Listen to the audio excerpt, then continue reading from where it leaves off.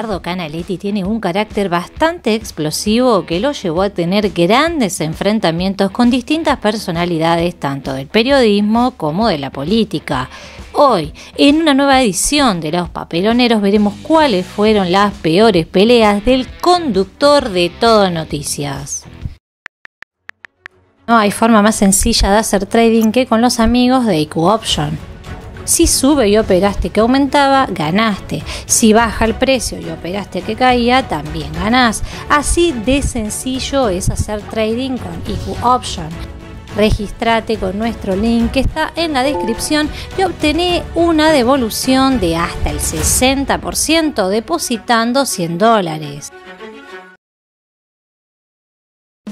Canaletti versus Mónica Chirivini. En el año 2020, el conductor de Todo Noticias se cruzó con una abogada que había defendido a los rugbyers que asesinaron a Baez Sosa ver eso con la muerte? Me parece... Tiene mucho que ver ¿Qué porque tiene que ver eso con la muerte? Canaletti, Son ¿dónde empieza el etapas di- problema? Escúcheme, Canaletti, ¿dónde son empieza el etapas problema? diferentes. No, pero ¿dónde Son empieza etapas el problema? diferentes. Usted Mire, no yo me puedo pelear con ella, No, no, pero de pelearme escuche, con ¿dónde ella empieza a el pegarle una trompada hay una favor, diferencia. Empieza el problema con los saltos y los empujones y el pogo que Entonces, está vamos, Leo prohibido. Pitel, ¿Sabe una cosa? Prohibamos la música. Se terminó la música. La música es causa de criminalidad. Lo que usted está diciendo es, en lógica, una barbaridad. Porque No, yo salto, no, no, está puedo provocar señor. después un Está crimen. prohibido, está prohibido, Y dale Canaletti. que va con está prohibido. Está prohibido. ¿Sabe qué? Está prohibida mi corbata. Esta corbata está No, prohibida, mire, pero no esta corbata no, mata a el nadie. respeto. Le voy a decir algo. Con el indio Solari, ¿cuántos muertos tuvimos por el pogo? ¿Por qué se prohíbe el Estamos pogo? hablando de este caso, Mónica Gutiérrez se el lo acaba de decir.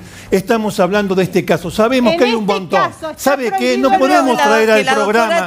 Tendría que ir a defender a los muchachos Con estos, que la mucho podrían gusto lo estar haría. llamando porque Con mucho una. Pero no defienda al hombre, defienda el derecho, como dijo el Defiendo doctor. el derecho. ¿Sabe qué defiendo?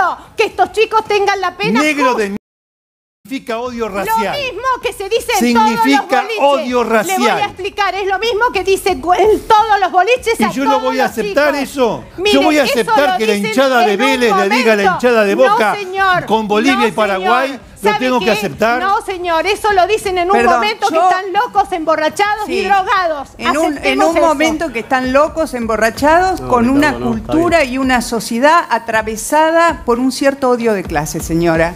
Eh, permítame. Mónica. Canaletti versus Beliboni. Hoy a la mañana el periodista de policiales tuvo un enfrentamiento con el líder piquetero a raíz de sus diferentes posturas respecto a los cortes de rutas.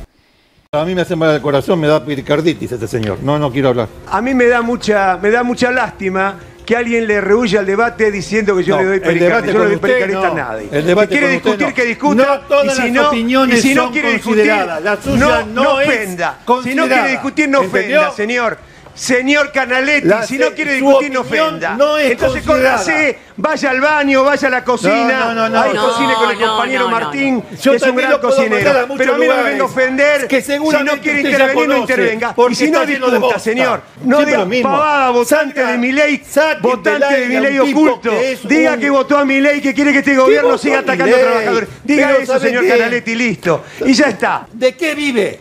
¿De qué vive? Una y mil veces, ¿de qué vive? Pero lo digo en todos los ¿Usted programas. dice que el ¿Quiere que le muestre mi currículum, ahora? señor? Claro. O usted Pero, sabe, señor, usted sabe que las señor, políticas ya puse mi currículum en la mesa narcotráfico. 20.000 veces. No, no, no, no, no. Señor, Hablamos los dos a la señor. vez. ¿Sabe qué? Señor. Váyase al carajo. Bueno, Señor, bueno, Ricardo, entonces hable Ricardo. usted. Váyase al carajo. Yo por Eduardo, respeto a Carmen Eduardo. no lo voy a interrumpir. Eduardo, por favor. No, ahí está. Entonces Mire, muy escúchelo sencillo, ¿de qué vive? amplitud. Váyase al carajo. Bueno, bueno, Ricardo, por favor. Es un junta pulga, un junta pulga que vive de los pobres. por favor, por favor, Junta Eduardo. pulga que vive de los Ricardo. pobres.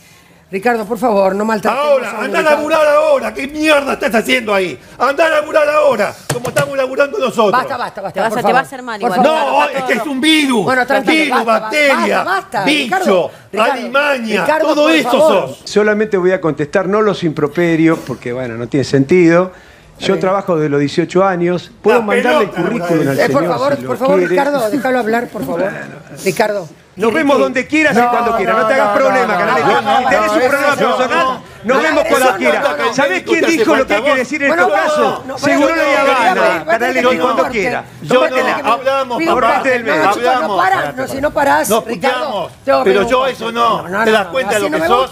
Sos un, matón de esquina. no me gusta. Matón de lechería. no me gusta. Canaletti versus Esteban Trebuca. A finales del año pasado, los conductores tuvieron un fuerte enfrentamiento por la inconstitucionalidad del megadecreto de necesidad y urgencia que había anunciado Milei apenas asumió. Antes del 94, cuando no existía esta reforma, los DNU eran declarados inconstitucionales, salvo alguna que otra excepción.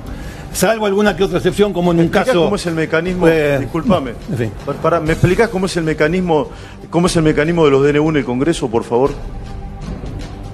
Hay una comisión bilateral que los tiene que analizar, Explica- tiene 10 bicameral. días. Bueno, escúchame, ¿yo creo que te lo explique a vos? No, querido, yo se lo voy a explicar a la Bicameral, gente. no es ¿De bilateral, dónde bicameral. saliste?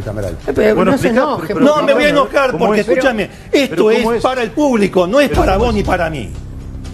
¿Cómo Por es? supuesto Esto es que para el público, entonces no digamos, eh, mira que yo con este, este asunto de, la farándula y de esto, no, no, yo no la voy, ¿eh? Si vamos a hablar, vamos a hablar bien. Pero explicá, yo qué tengo que ver con la farándula. ¿Cómo es el tratamiento? Primero que es bicameral. Que vos no lo bilateral. ¿Cómo conocés. cómo se trata? Vos no- vos- pero vos sos periodista, vos, No, te vos no lo conocés. Explicáselo vos a la gente. Clara- claramente que lo conozco. Entonces Pero explícaselo si vos. ¿Para qué me lo preguntás? Y no sabés ni, no sabés ni cómo es. No, no, pero ¿cómo es no, no, entonces? no, and- and- andate ahí, ahí, andate No, no, ahí, no, andate no, ahí. por favor, por favor. Andate ahí. Tranquilízate, Ricardo. Andate ahí, querido. Sos un maleducado. Bueno, Con razón, venido donde. Bueno, Bueno, Dejámoslo ahí, dejámoslo ahí. Eh, escúchame, Esteban. Dejémoslo Bueno, ahí, a no, ver, tomátela. Explícanos un poquitito. No, no, Ricardo, vení acá. Boludo. Richard. Perdona. Bueno, no, bueno, bueno, bueno, bueno. Bueno. Canaletti versus Mariana Fabiani. En el año 2019, la conductora y el panelista tuvieron un fuerte enfrentamiento mientras charlaban sobre un caso de inseguridad. El hecho en cuestión era un robo en donde la víctima se defendió y le disparó a los delincuentes. La presentadora preguntó si cabía la posibilidad de la legítima defensa de los asaltantes, a lo que el abogado le respondió que la única víctima era el asaltado. importante que surgió en los últimos minutos. Hay un segundo disparo que es el que recibe Claudio, el hombre que está tirando contra los delincuentes, de parte de los delincuentes. Ah. ¿Qué quiero decir con esto? Que cuando los delincuentes... Vivienda. Pero atención con esto, el dato más importante que surgió en los últimos minutos. Hay un segundo disparo que es el que recibe Claudio, el hombre que está tirando contra los delincuentes, de parte de los delincuentes. Ah. ¿Qué quiero decir con esto? Que cuando los delincuentes se están escapando, Importante. realizan un disparo. Cuando se están yendo, alguno de los delincuentes mira para atrás y le efectúa un disparo que obviamente no le pegó como vemos en la cámara de seguridad, pero sí quedó incrustado en la pared. Por eso son dos disparos y este dato me parece que es fundamental para analizar lo que van a analizar ahora. Claro, porque es muy, muy si es difícil de legítima analizar todo eso, no porque en todo caso es legítima defensa de los delincuentes que estaban siendo, o sea, no, no entiendo bien eh, cómo, cómo encuadrar esta situación, ¿no? Hay una sola víctima, que o hay las víctimas son- asaltado. claro, el asaltado y si le dispararon a- al tío, eh, también él. Los delincuentes no son víctimas de nada.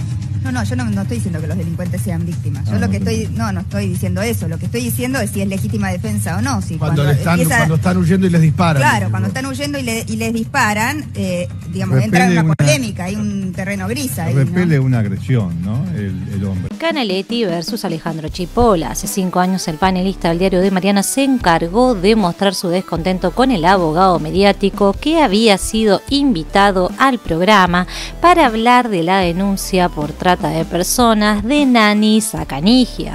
acusar a alguien es porque yo tengo la prueba y yo ya hice la denuncia.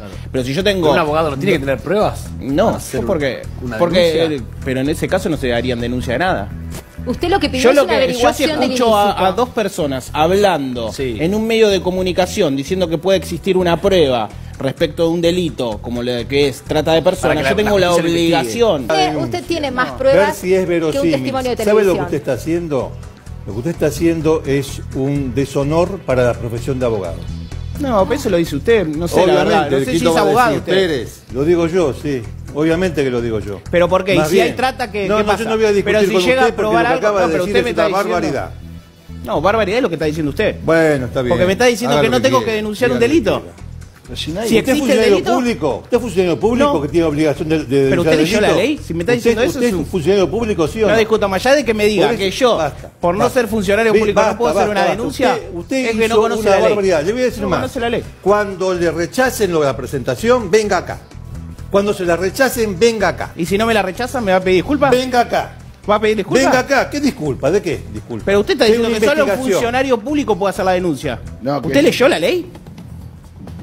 Porque hay un código. Eh, Si les gustó el video, denle like, suscríbanse a nuestro canal y háganle clic a la campanita de notificaciones.